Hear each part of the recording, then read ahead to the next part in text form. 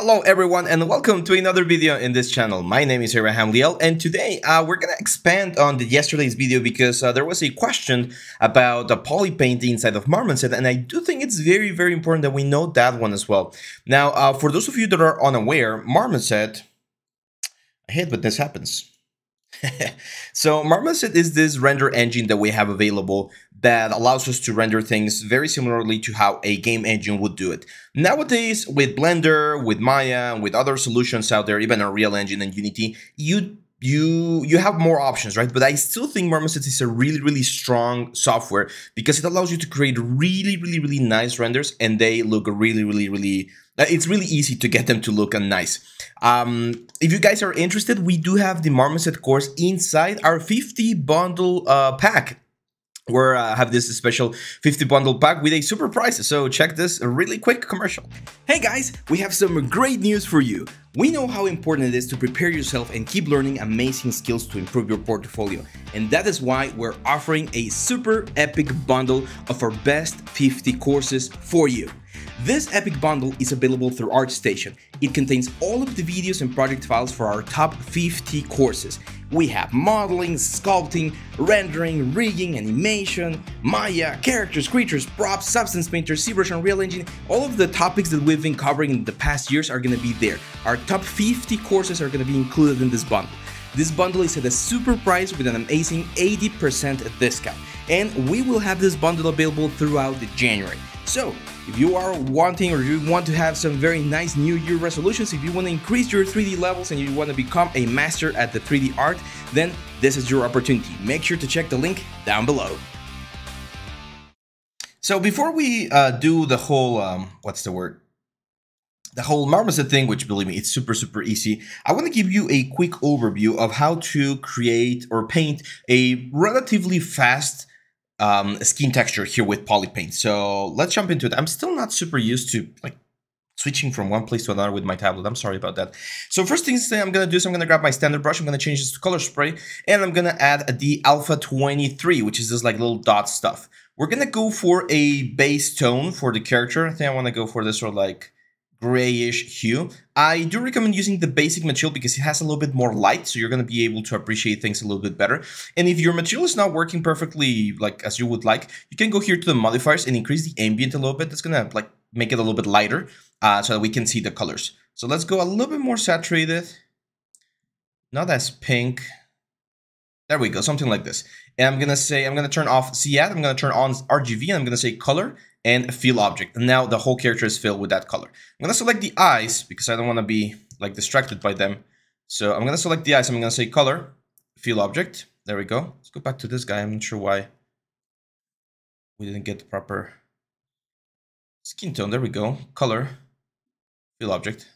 That's a little bit orangey color fill up. There we go. So this technique I actually learned from um, Madeleine Scott Spencer. She is a great character artist. She was working at Weta for a long time, uh, Lord of the Rings and all that stuff. And um, I I don't remember how she calls this uh, specific technique, but I like to call it the clown technique because it makes the character look like a clown but then it gives you a really nice result. So basically, the human body has three tones, if you wish. It has like warm tones, cold tones, and like neutral tones, which are to be represented by uh, red, blue, and yellow. We're to start with the red color right here. And what I'm to do is I'm to start filling very softly. As you can see, I'm not like going super extreme with my with my weight here. I'm to go very softly. I'm to fill the character with a very nice, like, um, a very nice layer of all of these things.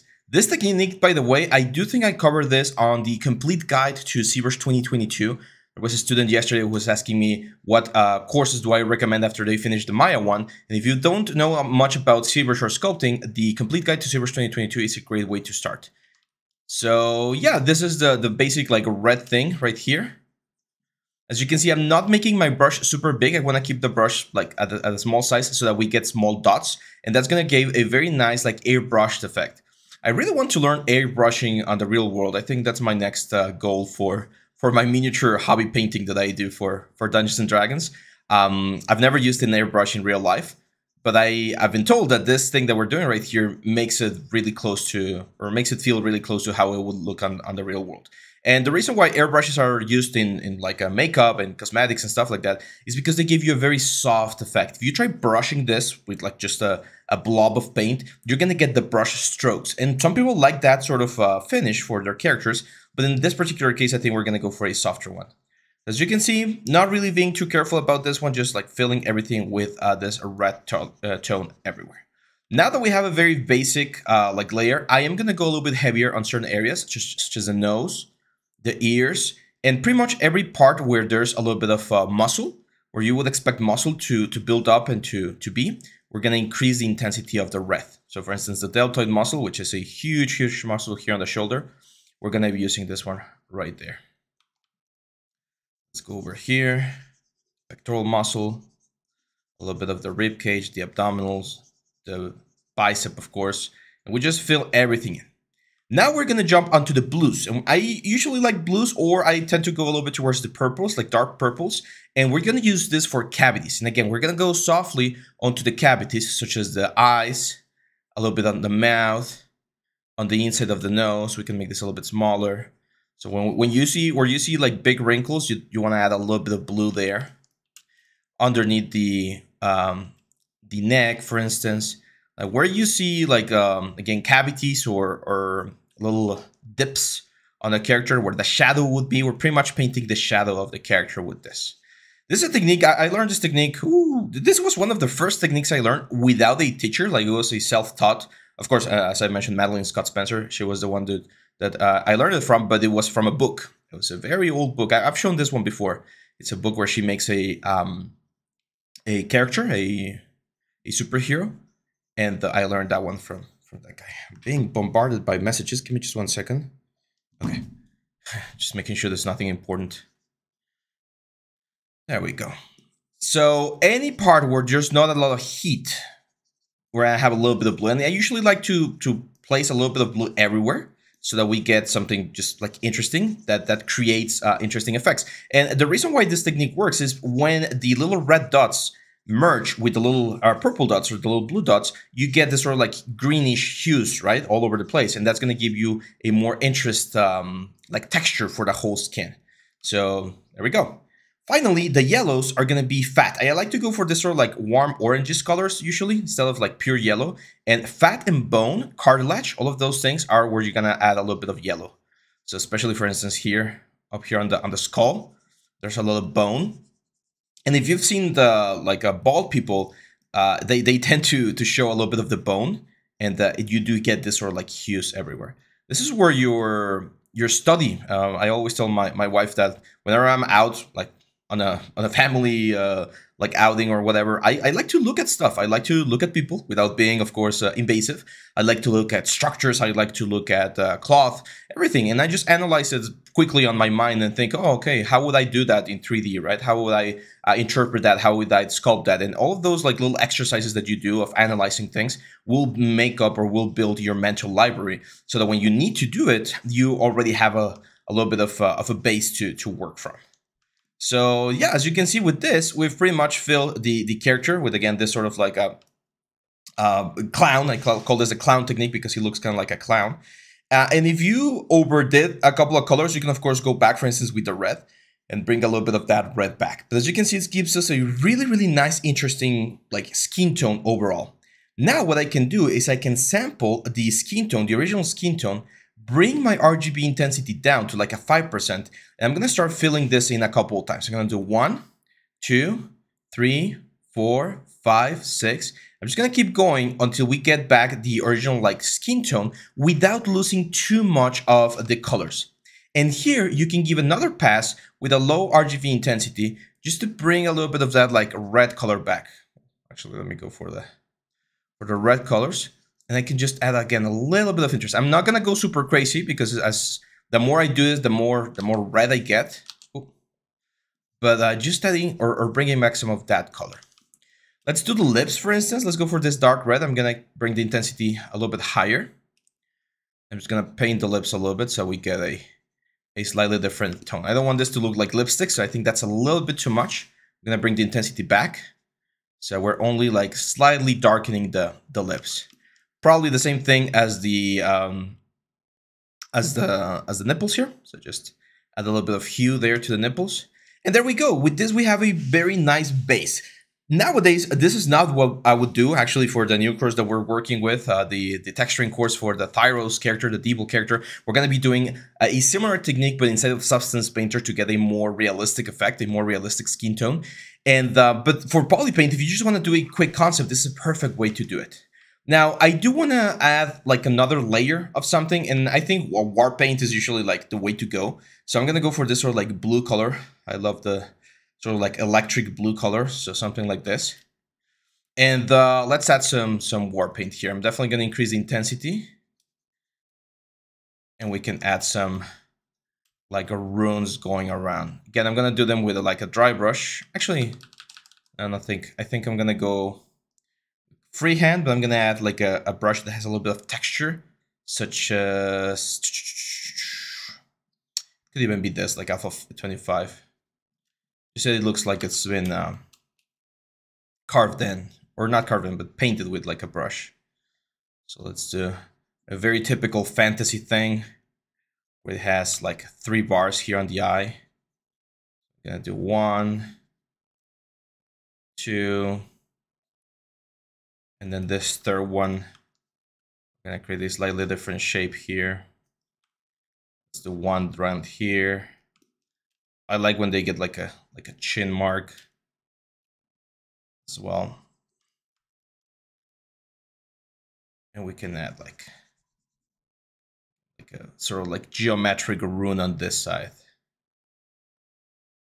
And this is the fun thing about the polypaint, the fact that you don't need to really do UVs or anything. You can keep things very, very uh, simple here instead of ZBrush. You can just do a concept and then you just save this go back a couple of steps and then try another thing, right? So you show this to your art leader or to whoever the client is, and if they don't like it, that's fine. You you didn't commit everything to like uh, textures and uh, and UVs and retopology and everything. You're just showing concept. Concepting nowadays, um, especially with like AI and stuff, it's gonna be really competing or, or com- yeah, there's, there's, gonna be a lot of uh, competition on the on the concepting side of things. So probably the best thing you can do is have as many tools in your arsenal to be able to offer solutions and the options to your client. That's what's gonna make you a valuable uh, concept artist. So if you know how to do kit bashing, if you know how to do uh, poly paint and, and just quick renders inside of Marmoset, if you know how to do um i don't know photo bashing all the all the techniques if you're going to be a concept artist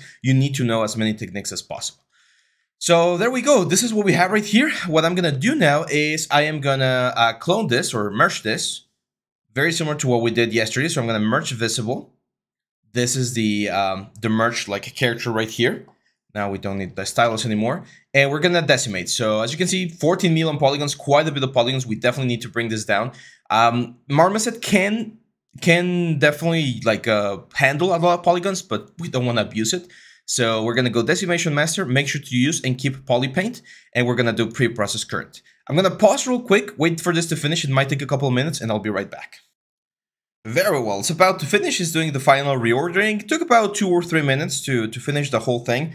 Uh, again, depending on your system and the amount of points that you have for the Decimation Master, you might need more or less time. So yeah, um, it's writing the file. And once we do this, we're to decimate this. I think we're to go for 10% decimation but so that we get to 1.4 points, which is to be like 2 million things, or maybe like a 5%. Let's try 5% and decimate current. So we're to go from 14 uh, million points to, yeah, to this one. And as you can see, we don't really lose detail. We don't really lose uh, a lot of uh, polypaint information. Yes, everything is like uh, uh, triangulated and stuff, but this is going to work perfectly, perfectly fine. Now we need to export this, and it's going to be a heavy file. I'm going to export this on my um, on my uh, what's the word on the desktop. Let's call this dwarf color. And very important, we need to export this and actually let me go back. We're gonna go to the Zplugin, same thing we did yesterday or on the on the last video for for Arnold. We're gonna go FBX import ASCII uh, visible FBX20 and we export this. So let's go to the desktop real quick. Let's just call this dwarf color and save. It's gonna take a little while. Again, I think it's gonna be probably like 50 megabytes. Nowadays, the uh, we've talked about this before. The bottleneck is no longer the amount of polygons. Most softwares can handle huge amount of polygons. For instance, Unreal Engine can handle billions of polygons with Nanite nowadays. Uh, but you still want to keep things like relatively efficient. So this one, yeah, 160 megabytes, so quite quite a bit. Now, if you've um, jumped ahead to this part, then uh, make sure to check the last part. We we just finished doing a very cool poly paint. I showed you the whole process, so you can go and check that. And for those of you that are here, very easy. It's it's stupidly simple, guys. It's one button, literally. So I'm just gonna go File, Import Model, and we're gonna import the uh, dwarf color. We're gonna wait for this to import you guys literally uh, i'm not kidding. This is not clickbait or anything. You're not going to believe how easy it is to do color vertex instead of marmoset. And as i mentioned before if you want to learn a little bit more about marmoset you can check this in our skillshare promo. The skillshare promo is also down here in the description. We're offering i believe it's 15 days free trial so you can easily watch the whole marmoset series for free uh, on skillshare. So when we import the character right here, if we go to the material that it gets imported with, we can go to the albedo option and change albedo to vertex color. That's it. That's it. That's all we needed to do. We just changed the albedo method and instead of looking for an albedo map, it's going to be grabbing the vertex color. However, if we want to create a very nice render out of this guy, we can tweak a couple of things. First of all, we can play around with the roughness. This is one thing that's uh, really, really handy. We can get a more like skin-like effect. There we go. Uh, we can change the diffusion, uh, or not the diffusion, sorry, the... Where is it? Actually, I'm going to create a new material. I'm going to assign this new material here. We can still do the same thing, like uh, sample the, the vertex color, bring this up. And on the transmission, I'm going to change this to surface scattering. Why? Because I want to make this thing look like uh, like skin. We're definitely going to bring the, the scatter depth down a little bit so we don't have super, like, an extreme amount of translucency. We can increase the fuzz, for instance, if we're going to get this sort of like peach fuzz that we sometimes get with hair. Um, we can, of course, increase the roughness so the skin looks a little bit better, like a little bit drier. And there we go. Now for the for the vertex color, we really can't do much. I, I believe we can darken this. Yeah, we can darken the tone a little bit. So it's a little bit too bright. You can move this around or influence it with a color. Uh, I don't recommend doing it as much though, because you might get some weird results. I'm just gonna lower the hue a little bit there. And now let me show you very quickly how we can um, how we can create a render out of this thing with a better light setup. The techniques that I like to use here inside of uh, Marmoset are very similar to the ones that we use inside of uh, Arnold. I bring my backdrop brightness all the way down, okay? You can see that there's quite a bit of ambient here on the character. So we might want to like bring this down, that the light of the colors, because that's one of the issues with vertex color, that you are like you, you're pretty much baking the color information on the object. Um, so we're bringing that down. And now I'm to do a very simple three light point, three point light setup. So I'm to go here, create a new light, increase the brightness. I like to change the temperature. So let's go for like a, like a warm light. There we go. We can play around with the diameter. The diameter is to soften the shadows a little bit, as you can see right there. I do think the roughness is still a little bit too high, so I'm to push it back a little bit more. The scatter depth might be too much as well, so let's just bring it back. Now, we're not using ray tracing. We're going to turn on ray tracing in just a second, and that's going to give us even better results. Look at that skin. That, that skin looks amazing. Um, because ray tracing is going to give us more realistic results. It's definitely going to be a little bit uh, heavier, but it's going to give us uh, things that look really, really nice. Let's go back to the sky and bring the brightness down a little bit more. There we go. I'm going to go to the side view, and now I'm going to add something called a rim light, which is just a very basic light that goes on the opposite side of the camera, usually, and it... Um, it pretty much uh, what's the word? Frames frames the character into into position like that. So now uh, this one i'm also going to increase the diameter a little bit so we get softer shadows. There we go just a little bit. So the size of the the bigger the size of the of the light the softer the light and the shadows are going to be. And now if we turn on our uh, ray tracing as you can see right here we're going to get a super professional um like render. Look at this. Like there's no way we can get this render out of ZBrush right like we can, of course, play a little bit with perspective and stuff, but this sort of like realistic material, there's no way to get it. And look how nice the skin looks. The We can see a little bit of the yellows, of the reds, of the blues. We get a lot of depth uh, coming from the character. Um, yeah, that's uh, that's pretty much it. Now let's just do a couple of things here with the camera. I'm to go to the camera. I'm to change the focal length to something like a 55. 55 tends to be a little bit better for uh, for portraits because you don't distort the camera as much. And then, um, I, I don't know that's pretty much I would like to do. We can of course play with uh, like the exposure, expo expose this a little bit, maybe a little bit of contrast here. Just to get some like sharper, nicer shadows.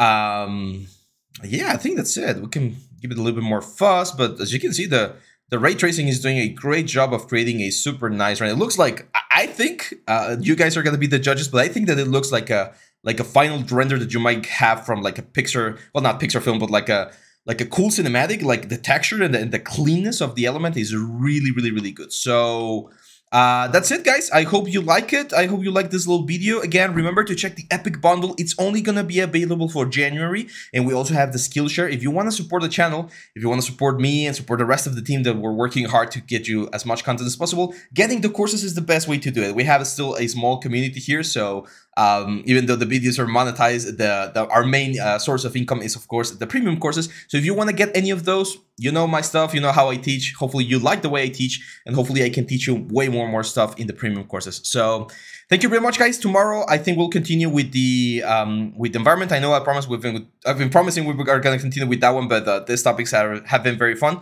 And don't forget that we also have our portfolio review coming this weekend. So if you're watching until the end of the video, make sure to submit your portfolio if you want me to check it out and uh, give you some feedback about your stuff. That's pretty much it for this one, guys. Thank you very much, and I'll see you back tomorrow. Bye-bye.